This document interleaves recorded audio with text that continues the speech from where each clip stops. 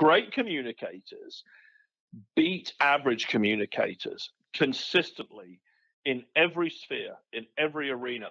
The paradox is we sort of think of communication as a soft skill. Kind of nice if you have it, but who cares?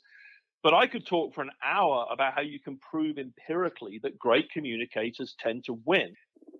Welcome to EECO Ask Why, a podcast that dives into industrial manufacturing topics spotlights the heroes that keep America running. I'm your host, Chris Grainger, and on this podcast, we do not cover the latest features and benefits on products that come to market. Instead, we focus on advice and insight from the top minds of industry because people and ideas will be how America remains number one in manufacturing in the world.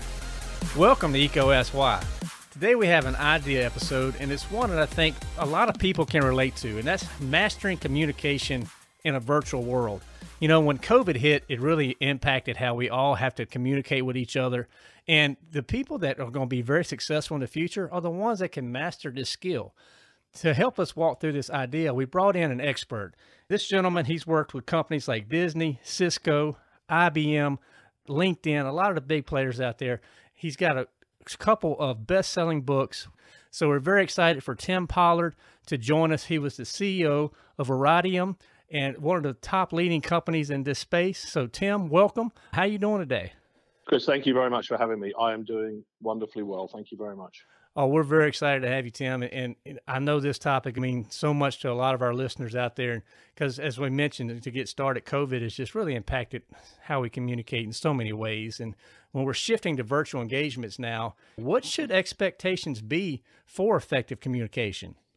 I, I think people have totally underestimated how much communication changes when it moves into a virtual world. And so what's happening is they're under preparing, underthinking how things should change, and their effectiveness is is really dropping. And I, I think, as you said in your intro, there will be winners and losers when organizations, people move into the virtual environment from a communication standpoint. If you have two people selling a similar solution, well, the one that's going to win is likely to be the one that articulates their story more effectively. And so, whoever was winning in the old world may not be who, who's going to win in the new world because the game, if you like, has sort of been reset. We're already seeing people adapting well to the virtual environment and doing very well as a result, and then adapting poorly to the virtual environment and doing very poorly. And as I said, I think the real interesting issue here is that people have totally misunderstood or underestimated how different the virtual environment is for communication. Everyone thinks it's all about just master the platform. How do I use Zoom? How do I turn on my camera? How do I mute? But that's just the barest tip of the iceberg. There are a lot there are a lot of much bigger things that have changed that people haven't understood. And that's kind of why this is so interesting. I don't think there's certainly in my lifetime, and I'm nearly 60, I don't think I, there's ever been a more interesting time to be thinking about writing about consulting in the area of communications. This is by far the most interesting season I've ever seen.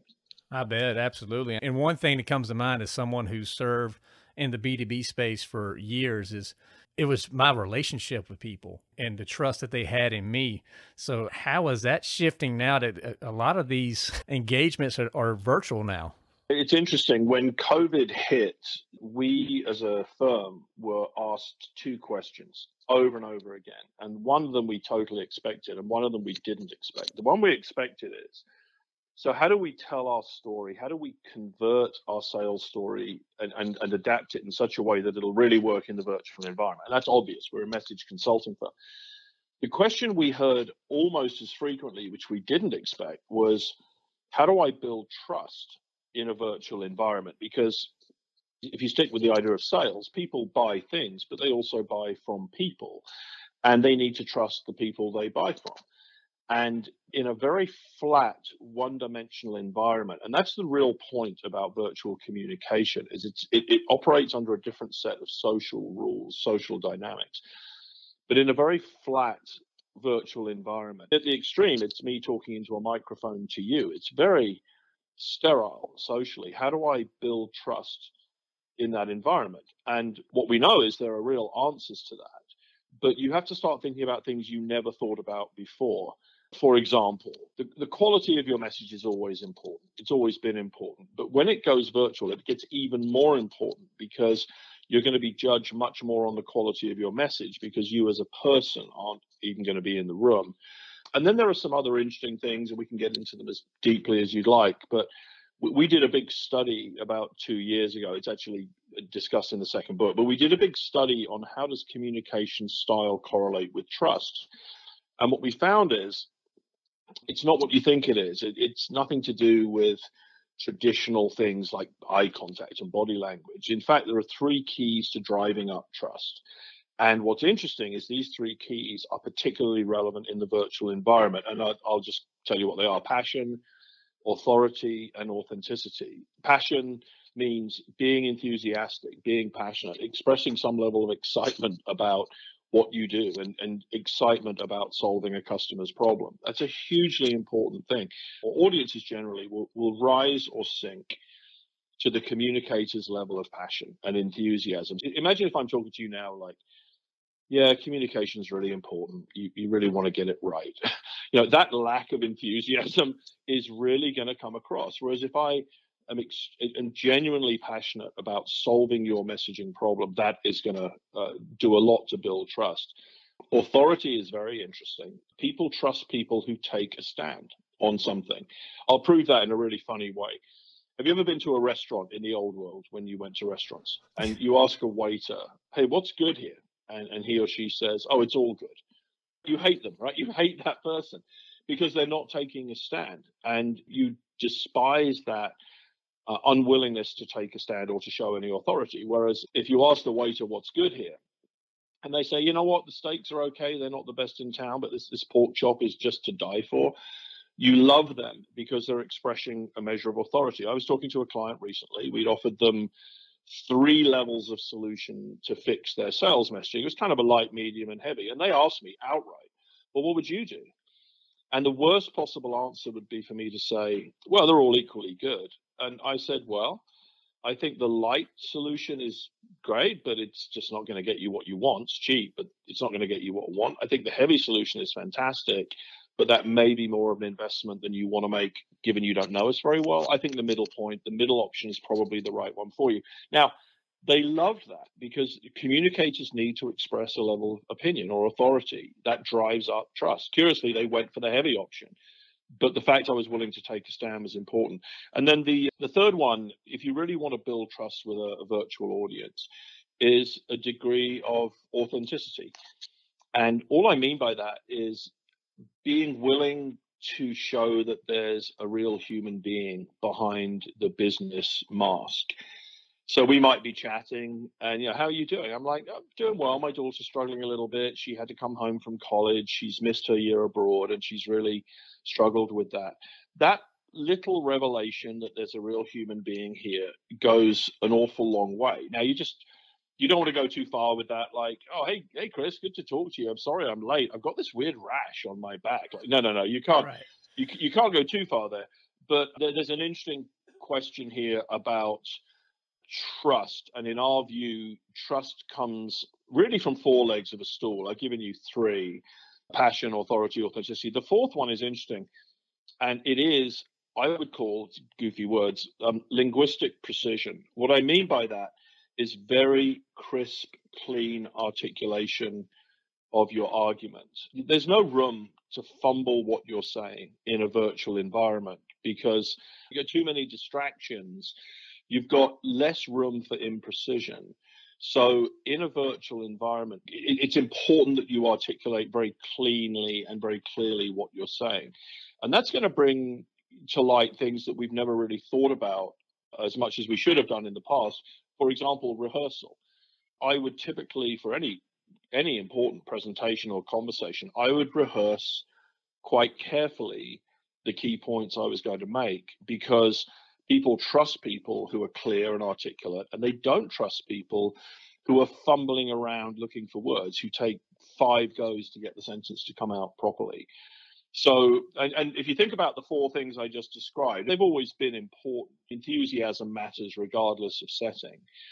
But I would say if you really want to build trust with your customer or with any audience, you want to think about those four things trust, uh, uh, passion, authority, authenticity, and precision, precision in language. No doubt. And it all ties back, you said, to start off with though the quality of the message so maybe give us some some advice or some guidance there how, how should we really be evaluating our message or should we be modifying it now that everything is going virtually yes and that's that's very interesting there's really two different questions there one is what should we be doing period with messaging regardless of setting or medium and then there's a second question what additional modifications might be needed to a message when it moves into a virtual environment? So let's just tackle them separately. Most messaging, regardless of setting, most messaging fails because it just doesn't really align well with the way people's brains work, with the way people learn. So, for example, if you put together a 50 slide PowerPoint with a lot of stuff on it, tons of information, and not very well sequenced or structured, and very fact and data driven, so very left brain, but really lacking in story or imagery or metaphor. It's just failing to check all the boxes of how the brain really works. So even if I was going to have a live meeting with a customer, what I need to do, what you need to do is build messaging, particularly sales messaging, but really any presentation. You want to build messaging that has a set of hallmarks that are much more brain aligned. So very simple and crisp. Don't you don't get to present 50 slides because you feel like that. You've got to stay within the brain's bandwidth. You want to create logic in your narrative. The brain does very well with story, does very well with randomness. If I gave you a seven digit number now and then we came back to it in five minutes, you wouldn't remember it at all because there's no sequence to it. So you want to create a logical narrative. You want to anchor your narrative in a customer problem. You want to give them a reason to listen. They're not interested in you until you've shown that you're interested in them. And so uh, gaining attention, gaining engagement is hugely important. And you would, just to give you a fourth one, you want to interweave more story and imagery into a sales conversation. I can talk about a problem in hospital lighting, just one solution we message we built recently. But if I was describing that problem, it's going to engage you much better if I said, imagine an old lady, she's in a senior living facility, she's trying to read her crossword puzzle. It's too dark, the lighting's not good, she can't read it, it's driving her crazy. So she complains to our kids, and, and now you've got a patient satisfaction problem, blah, blah, blah. What I've done is I've taken a problem, which is poor lighting, and I've turned it through story into something that you can really visualize. So there are a set of rules about message architecture that apply regardless of setting. Now, very quickly, let's think about how that works in a virtual setting. In a virtual setting, just imagine you have a narrower window to get an arrow through. You have a customer that's more distracted. I, I, don't know if everyone picked that up from the mic, but a couple of minutes ago, there's a dog barking. That's distracting you. It's distracting me, or it's the UPS delivery van, or at this in this season, kids running around. You've got a highly distracted audience who has lower mental bandwidth. There's already research on this that your mental bandwidth drops in a virtual environment because you have to focus that much harder. So what this means is a whole lot of things now have to change in your message. In fact, things you should have been doing now become even more important. So for example, simplifying your message. It had to be simple in a live meeting. It's got to be even simpler now in a virtual meeting because you have a more distracted audience with less bandwidth. I'll give you the best tip in the world. Do you know, by definition, you should try and have all of your customer conversations in the morning? Because Zoom fatigue is real. You think you're going to get the best of your customer's brain at three o'clock in the afternoon when they've already had five hours of Zoom calls. No. So always try and get on the right side of the Zoom fatigue curve. Let someone else get the 330 slot. Um, I think there's a major structural change in sales happening where everyone should be arranging all of their meetings in the morning and then all your afternoon should be spent on administration and research and prep and expenses. Right. But people people just aren't thinking about this properly. So the, the main idea is that in a uh, virtual environment, you have to assume you're working. Your customer kind of doesn't have quite the same mental capacity. And it's not that they're stupid, it's just incredibly hard to work in that environment. So you have to streamline, you have to simplify, As I said earlier, you have to really perfect your language. And then some very structural things better microphone to improve the sound, go for the meetings in the morning. There's a, just a fascinating raft of things you now have to get right. Right, right. That front end preparation work and everything that, that we can do to to improve and make that experience better. Because, like you said, that, that mental bandwidth drops. That's a good tip about targeting the morning times versus the afternoons. I hadn't thought about that. So, absolutely, yeah, any, absolutely. Any other of those low hanging areas that you're seeing, is just common mistakes or, or trips that people are, are, are making with the virtual? Yeah, yeah, yes, and it ranges from simple but obvious, but people have missed them to, to really quite deep. We actually use an acronym for this called TRAPS, and I think your audience would find this helpful. When it comes to mastering the platform, avoid the traps. So, what are the traps? T is technology. Here's a really obvious tip, and everyone forgets this get the meeting onto the platform that you best understand. I am a WebEx guy. I think WebEx is amazing. I think Zoom's pretty good. I think the rest of them suck. I will get, I, I, think Zoom's okay, but I'll get a customer saying, hey, let's do a Zoom call.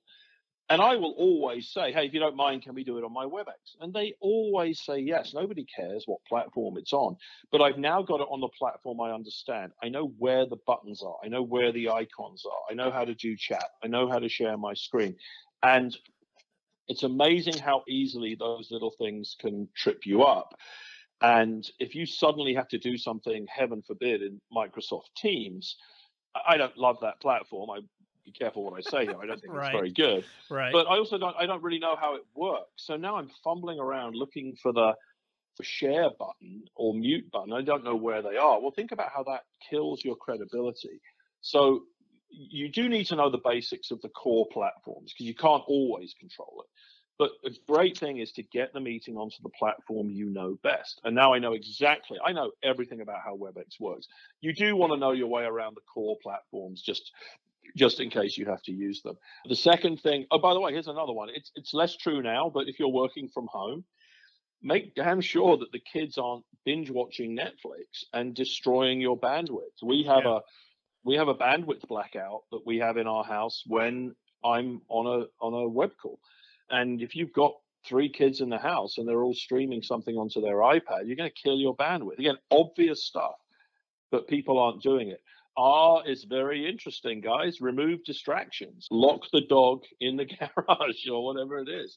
But it's it's it's interesting. One of the things we know is true now in a post-COVID world some of these distractions are now seen as more acceptable. I was doing a call, oh, I don't know, a month ago with a very senior executive, uh, funny enough, from the electrical industry.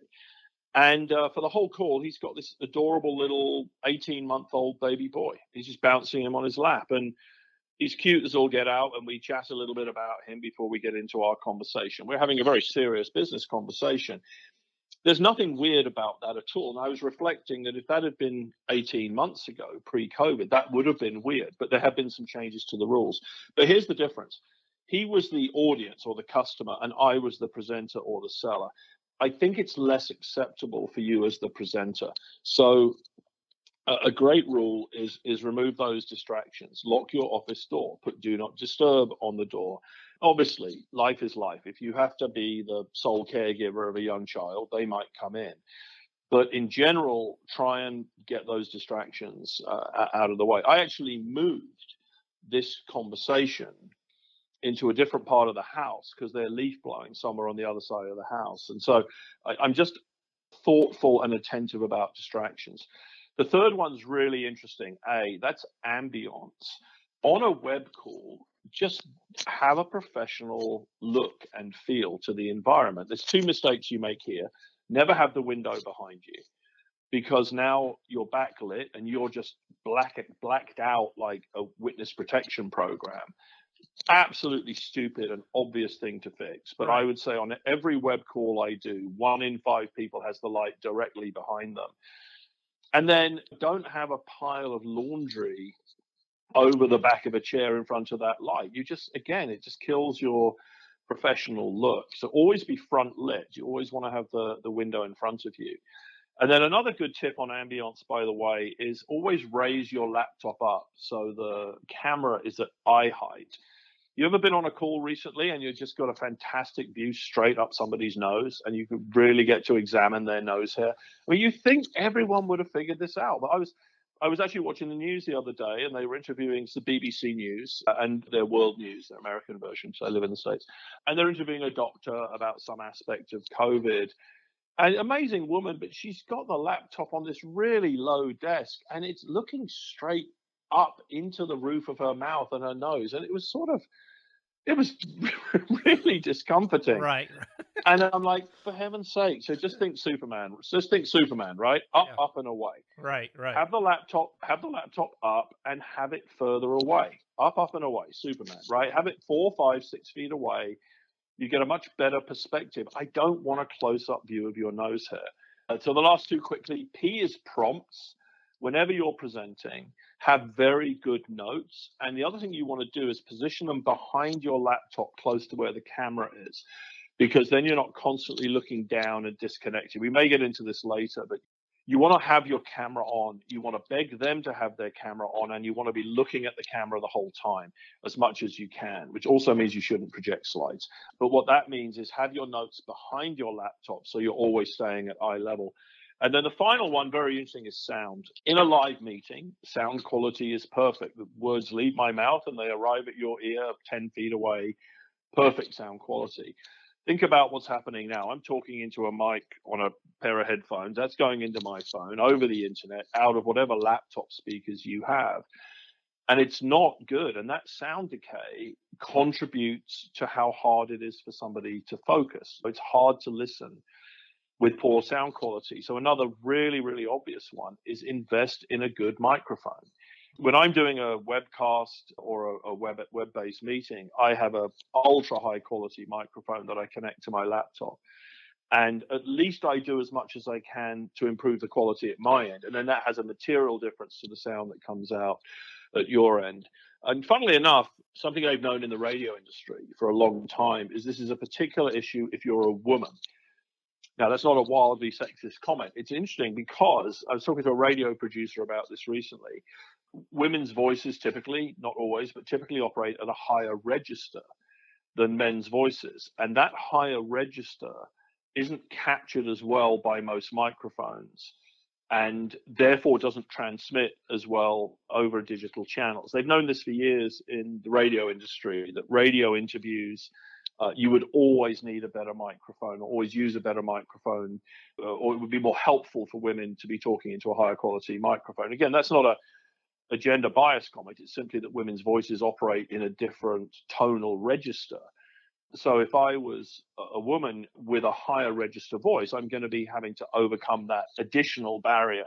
So even more reason to really invest in a great microphone. So if you really want to master the platform, then that acronym is very, very helpful. TRAPS. And some of that's really obvious. Like we've all looked up somebody's nose and thought how grotesque that is. Right. So you yeah. know what? Get a get a shoebox and put your laptop on a shoebox. It's not that hard, and don't sit a foot away from it. Sit four feet away from it. And sometimes it's just you need to hear this, and once you've heard it, you'll never you'll never forget it. But you just need to learn. And some of it, I think, we need as as as we're trying to support you know, people, customers, end users, or even just teammates virtually, we need to invest in ourselves. Get some good lighting. You know, I have some backlights, yeah. little cheap USB LED lights, and I can dim them up, dim them down, but it gives me some proper lighting when I'm on a virtual meeting. So, yeah. so some of that you just got to take on yourself. Absolutely. Yeah, we actually have a photo that we use to show people how to do this, but it's one of our team members his laptop is raised. He's using a good quality mic. He's got natural light in front of him, but it's a little bit off to the side. So he has a table lamp on the other side to avoid those shadows. His notes are behind his laptop, and he's just an exceptionally good virtual communicator. Now, compare that to some Joe who's got the light directly behind him. His laptop's too low down. He's far too close to it. He's using a garbage microphone, and, and his notes are distracting him. It's it's extraordinary how big a difference this can make. And again, audiences judge communicators more harshly than they realize. You're not just judged on what you say. You are judged to some extent on a broader package of how you carry out, how you conduct your communication. So if I someone's presenting to me and there's there's kids running around, again, that's not necessarily an issue, but kids running around, backlit, poor mic, poorly positioned laptop, I'm forming associations there, and we do well to try and solve those problems. What about standing during the virtual meetings and, and actually you know, to raise your energy level? Is that something that you've seen people try uh, to oh, do? Yes, thank you. I forgot that. Yes, absolutely. I should have tied that back to passion and, and uh, energy and enthusiasm. I would always stand up. I would always stand up to present. You're a better on camera appearance then, you have higher energy level. Just try this now. You've got about 30% more lung capacity when you stand up. So all all manner of things improve. I completely disagree with the idea that body language and eye contact matter. They don't. We've proved this. But as far as the energy level that imparts, and at least an ability to be a bit more expressive, those are really important. Now, again, that will tend to do two things for you that are good. One, well, one good thing and one thing you've got to watch. The good thing is that will tend to put you further away from your laptop, which is exactly what you want. You don't want to be writing close. Right. But the second thing you got to do is make sure then you raise you raise the laptop up again that the laptop is more at sort of chest or neck height uh, yeah. rather than you looking down into it. But yeah, no, that's a great tip. I totally agree with that. You know, I've, I've learned podcasting that I have to stand. We tried a few with me sitting down, and Adam's like, your energy level's not right. So we've learned that standing up helps. And, and it's funny you say that. So I have two monitors in the studio, and one is, is when I'm sitting down, I have a, a camera right on that one so I can sit in. I think when you and I had our virtual meeting, I had that camera going. And then yeah. I also have a camera mounted on a little platform that I built. That's about two foot tall, and that's where my second monitor sits. And I have a camera on top of that, so I can toggle between. But you have to be. I had to invest time and get all that right because, yeah, yeah. Depending on you know the scenario, I want my ambiance to be right. So it's uh, that, that's a great acronym, and I think yeah, one is yeah. really helpful for our listeners for sure. Good, yeah. In fact, you can write that down. Uh, that in our virtual training, we have a little card that's in the handout that, that, that you just pin it on your wall, and just until it becomes second nature, just remember to do these things. But you're right. I think the key word here is intentional.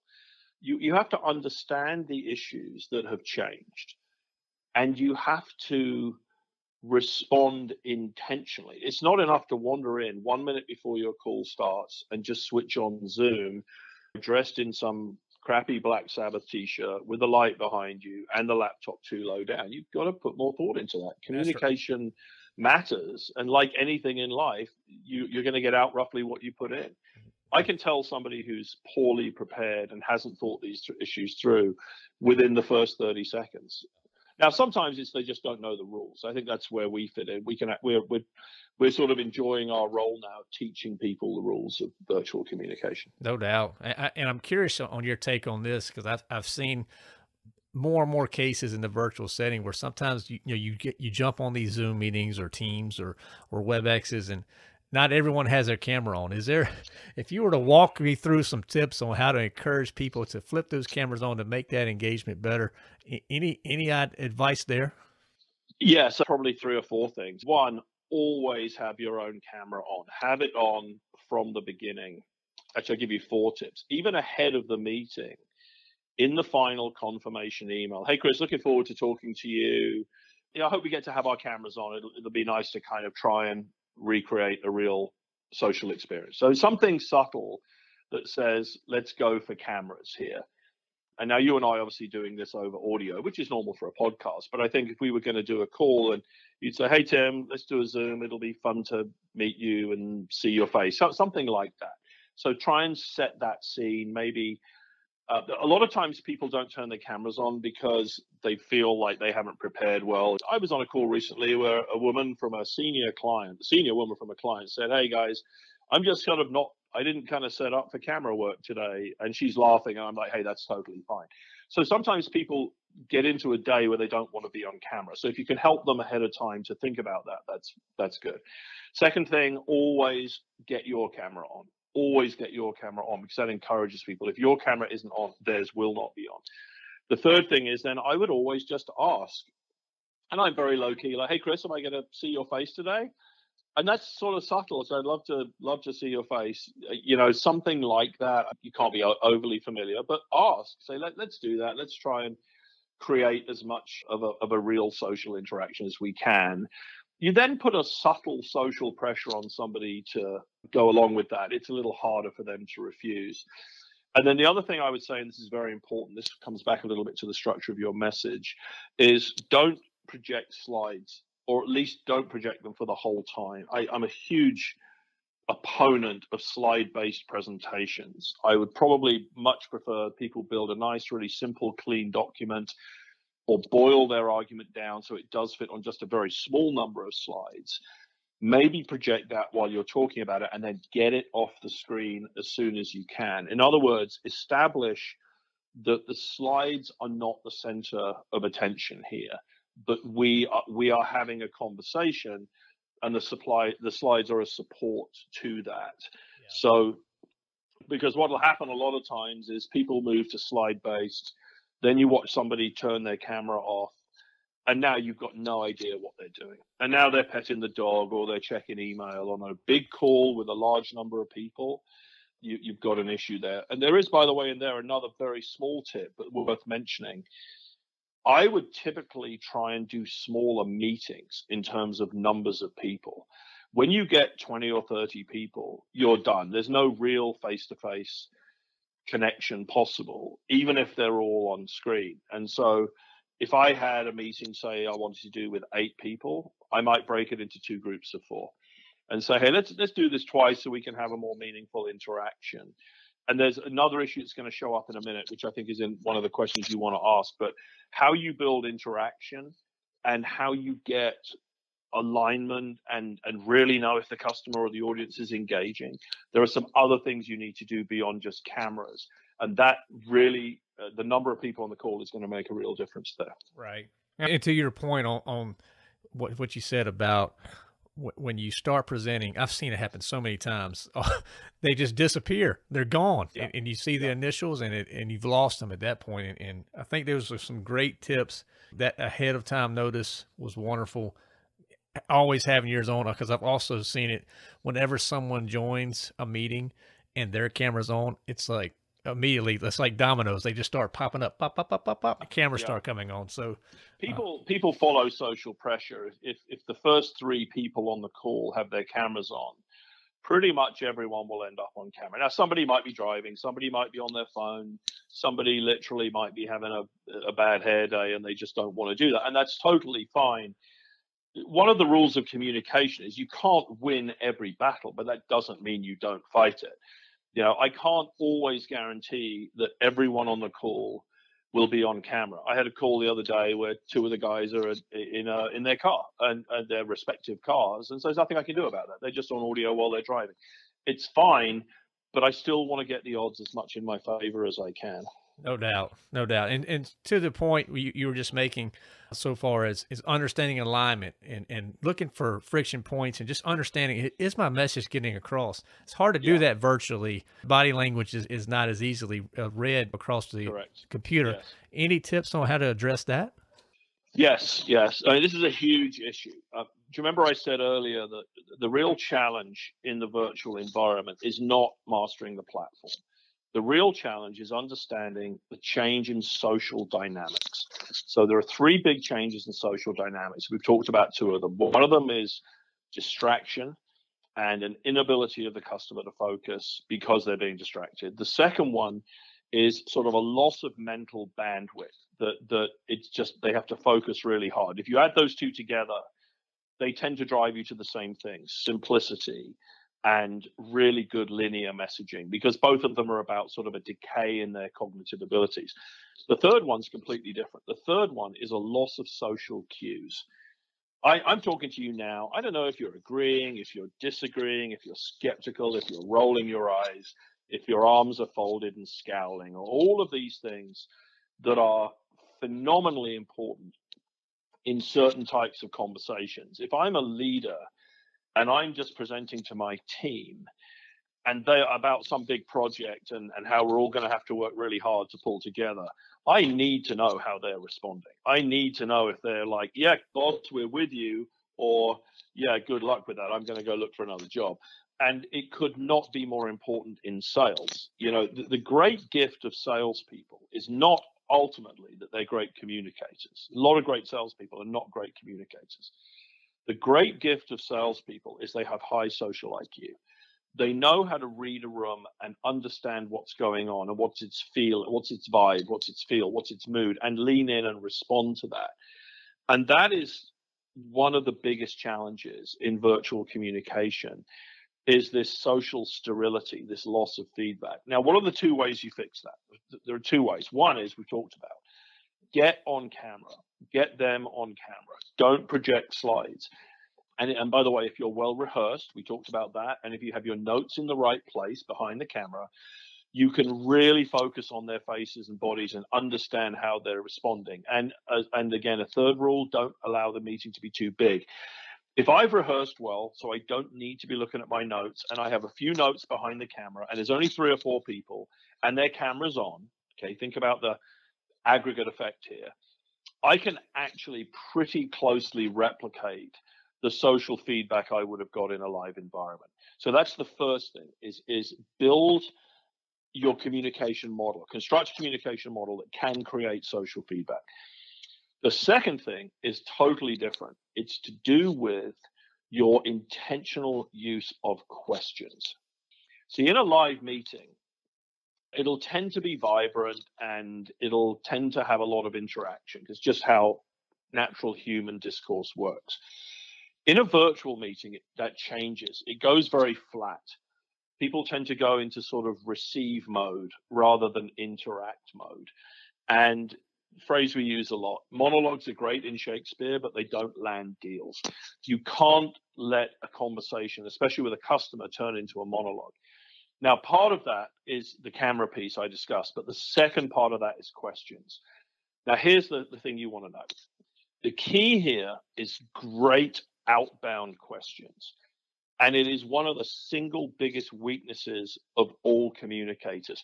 Have you ever seen somebody do a presentation and the last slide, the last slide says questions? Question mark. Yeah, that's what right. Kind of, what kind of what kind of idiot does that? It, I hate to say it if you've done it, right? But that's ridiculous, right? Because that's not interaction. And by the way, that is literally a signal that the conversation's over. So you never get questions at those moments what we don't think hard about this. We don't know how it works. What what we do is we tend to we don't think about how important the question is and we don't think about how to structure a great question. So let's imagine let's take a key moment in a sales conversation where I might have talked to you about a problem that you've got. And I finish that, and kind of there's this embarrassed silence, and, and and then I ask a really dumb question, like so. So there's the problem, guys. What do you think? we just naturally, our human brains naturally ask terrible questions on the fly. So I ask you that, well, what do you think? And then the customer's like, yeah, yeah, yeah, it's a problem. That just killed you. That's right. Now, what, what should you do? Imagine I presented a problem, let's say hospital lighting, and I've talked about nursing productivity, and I've talked about patient satisfaction, and I've talked about safety because you know, poor lighting in a stairwell people break their legs.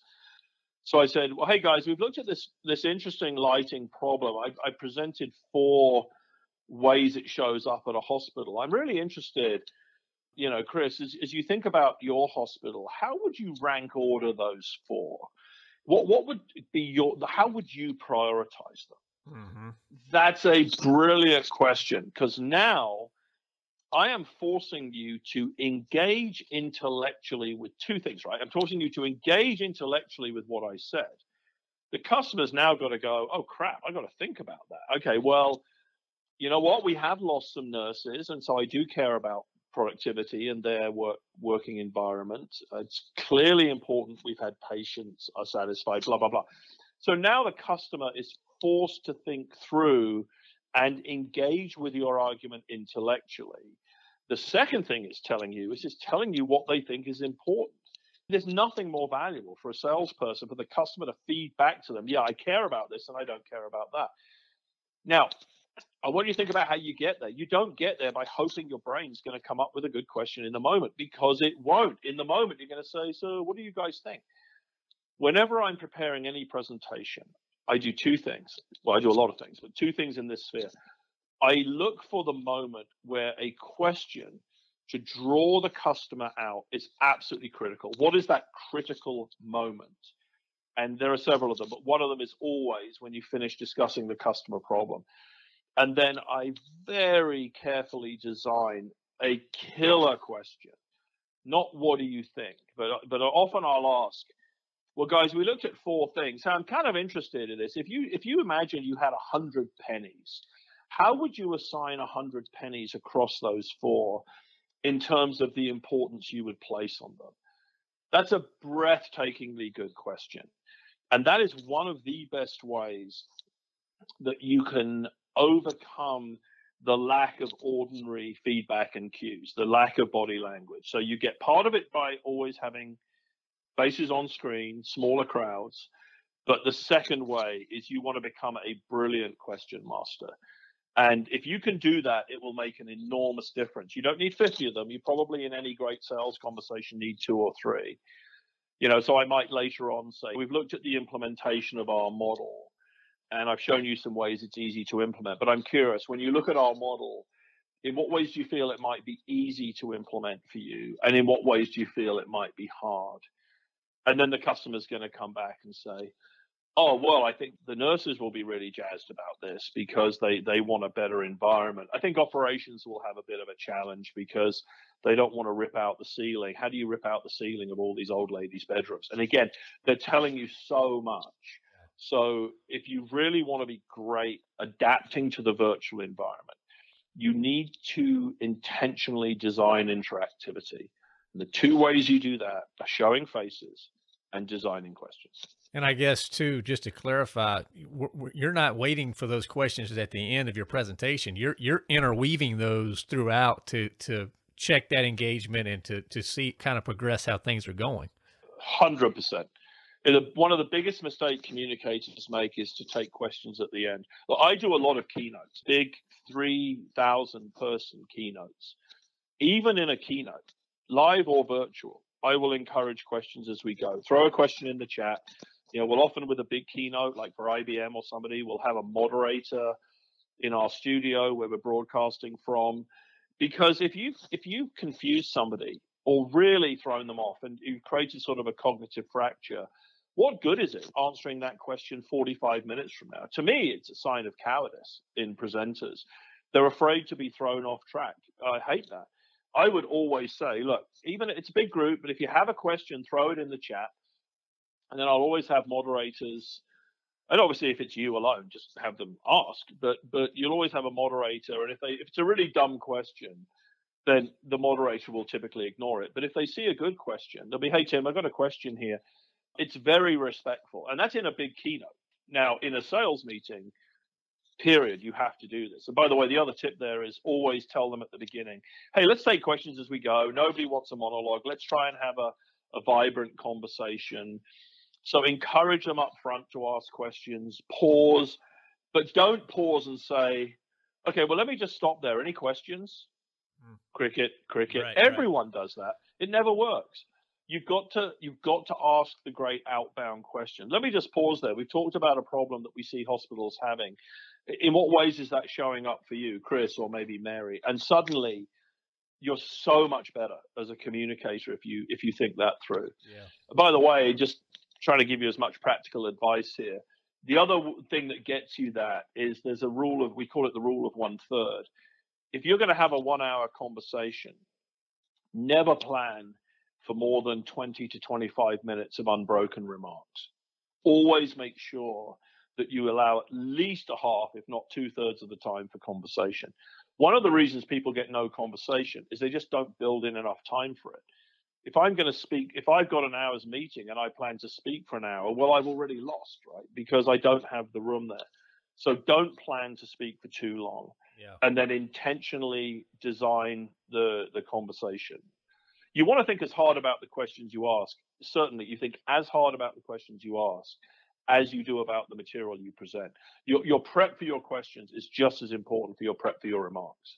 And it's all one thing, in fact. It, it is, and I think that's where so many people they they just oversimplify that or they think they could in, in, the moment oh it'll come to me and and that's not that's just totally not the right approach no i keep meaning to look into this and i haven't had the time but there is we're, we're real students at our, our company of how the brain works, how the brain works relative to communication. And the brain is just lousy at constructing good questions. I don't know why. It, you end up with like, so any questions? That isn't even a question. It's like, or so so what do you think?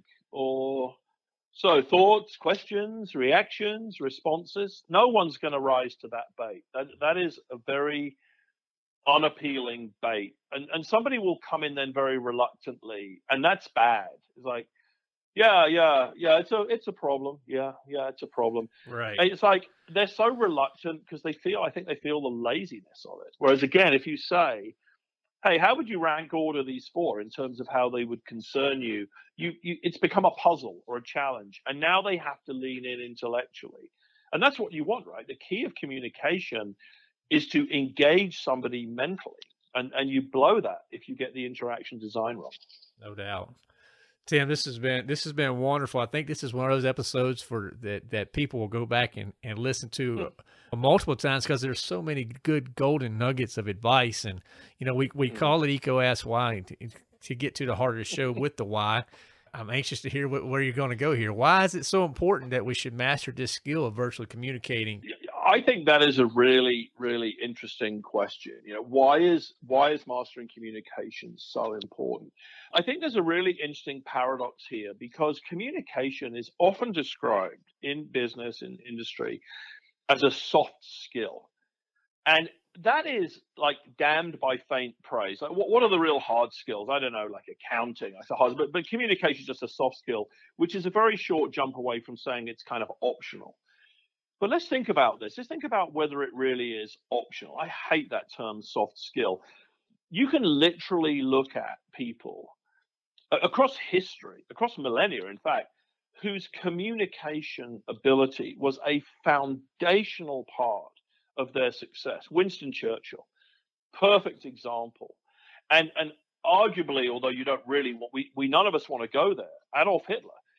Adolf Hitler actually motivated people who were good, fundamentally good people to incredibly sinister actions. That's the power of communication. You could argue that Churchill rallied people ultimately to virtuous actions, the defense of freedom.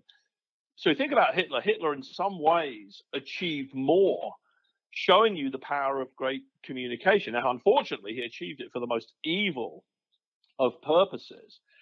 But, but what we can understand if we study it carefully is communication is an enormous part of, of historical success. Look at Steve Jobs. Steve Jobs, widely regarded as one of the finest communicators who's ever lived, I think, in terms of contemporary business life, certainly.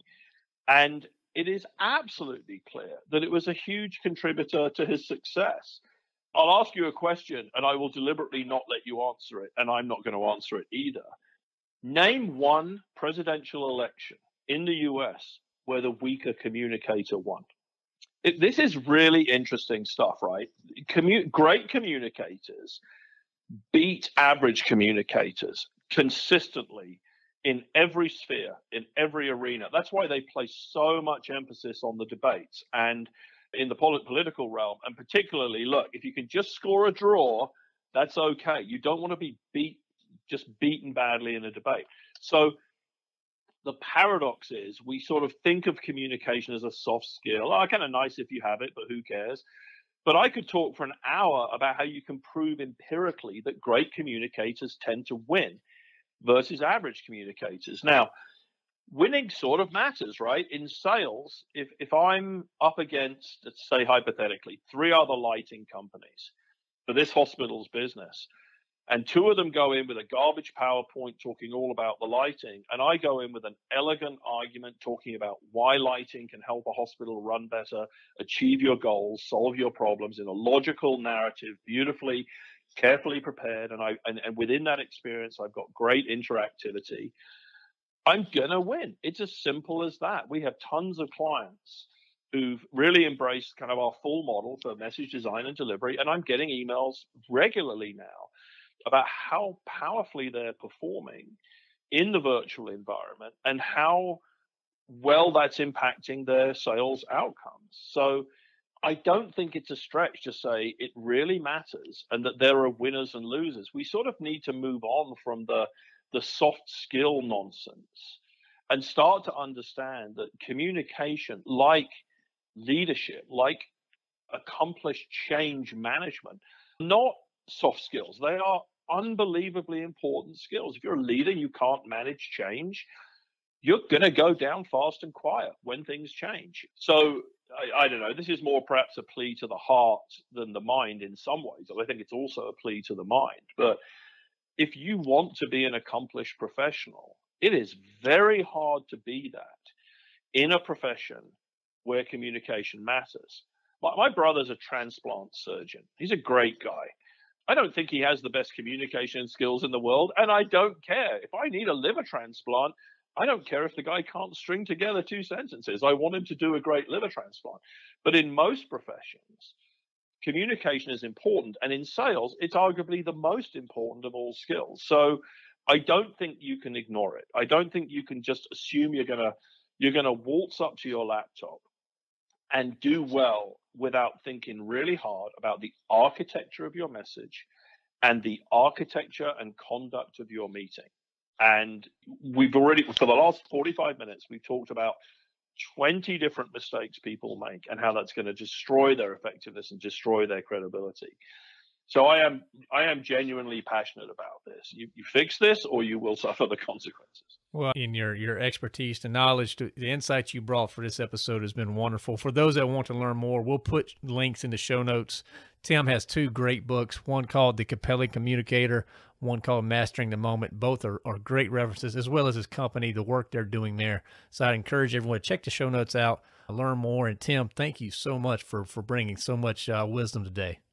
No, that was fun. And let me let me add one thing. It's to my eternal frustration. Both books, but the second one particularly was was concluded before the world went virtual, and I'm sort of noodling on the miserable idea of having to go back into those books and redraft them to some extent for the virtual world. I think if your audience is really interested in this, there's an e-learning we developed in conjunction with a couple of very big clients called Designing and Delivering the Virtual Sales Conversation. And that really does reflect our more recent thinking and most of what we've talked about here. I want to stay married, so I don't know if I'm going to get to write the virtual communication book because right. it took a lot out of me to write the first two. And the principles, the principles are not changing it's now this different social environment. That's a really, really fun product. It's 10, 20 minute lessons on how do you build an ex- a virtual message and execute a virtual meeting. And we just did a big refresh. That's probably the most direct access to what the deeper terrain that we've talked about. A- absolutely. And we'll make sure we link that up. Grab Tim's books on Amazon and then go check out that course. So, Tim, this has been wonderful. Thank you. Lovely. It was so much fun. Thank you so much for having me. I really enjoyed it. Thank you for listening to EECO Ask Why. This show is supported ad-free by Electrical Equipment Company. EECO is redefining the expectations of an electrical distributor by placing people and ideas before products. Please subscribe and share with your colleagues and friends. Also leave comments, feedback, and any new topics that you would like to hear. To learn more or to share your insights, visit eecoaskswhy.com. That's E-E-C-O A-S-K-S why.com.